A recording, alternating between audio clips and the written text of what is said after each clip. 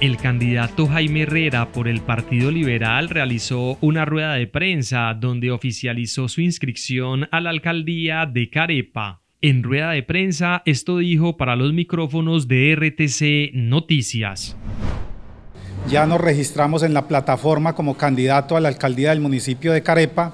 y eh, tenemos el respaldo del Partido Liberal, Partido de la ASI, el Nuevo Liberalismo, el Maíz y Gente en Movimiento, un grupo de partidos que han depositado su confianza en, nosotros, en este gran equipo, y que vamos a trabajar para que podamos hacer un proceso de campaña honesto, transparente, sin ataques, simplemente mostrando nuestras propuestas, las cuales hemos construido con la comunidad. Hemos recorrido varios barrios, veredas, hemos hablado con los líderes y con base en eso hemos construido un gran proyecto de gobierno que más adelante, cuando lleguemos a la alcaldía, se va a convertir en nuestro programa de desarrollo, nuestro plan de desarrollo.